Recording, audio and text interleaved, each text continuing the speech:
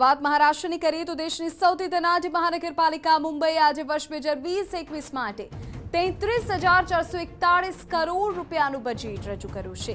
ગત વર્ષના બજેટ કરતાં ચાલુ વર્ષે બજેટમાં આઠ પંચાણું ટકાનો વધારો કરાયો છે. જોકે આ બજેટની સૌથી મોટી વાત એ છે કે આ વર્ષે મુંબઈની જનતાને કોઈ વધારાના વેરાનો બોજ તેમના પર ઝીંકાયો નથી. મુંબઈ મહાનગરપાલિકાએ પાંચસો સ્ક્વેર ફૂટના ફ્લેટ ધારકો માટે ટેક્સ ખત્મ કર્યો છે. જો કે આ નિર્ણયથી બીએમસીને ત્રણસો પાંત્રીસ કરોડ રૂપિયાનો બોજ બચશે.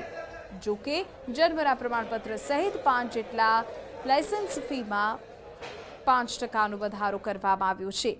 બીએમસી કમિશનર પ્રવીણ પરદેશીએ સ્થાયી સમિતિમાં બજેટ રજૂ કર્યું હતું. તો બીએમસીના બજેટમાં અલગ અલગ યોજનાઓ અને સ્વાસ્થ્ય સેવાઓ અને શિક્ષણ તેમજ અન્ય સુવિધાઓ પર પણ ધ્યાન આપવામાં આવ્યું છે. શિક્ષણની સેવાઓ પર નજર કરીએ તો મુંબઈમાં ડિજિટલ ક્લાસરૂમ માટે ઓગણત્રીસ કરોડ અને વર્ચ્યુઅલ ક્લાસરૂમ માટે અગિયાર કરોડ રૂપિયા ફાળવાયા છે.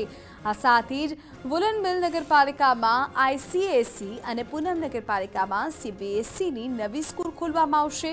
તો બજેટમાં ઉદ્યોગો માટે બસો છવ્વીસ પોઈન્ટ સત્યોતેર કરોડ રૂપિયાની જોગવાઈ કરવામાં આવી છે. જ્યારે ફાબ્રિકેટ માટે એકસો ચાર કરોડ ફાળવવામાં આવ્યા છે. તો ગોરેગાંવ બુલુંડ લિંક રોડ માટે પણ ત્રણસો કરોડ રૂપિયાની જોગવાઈ કરાઈ છે.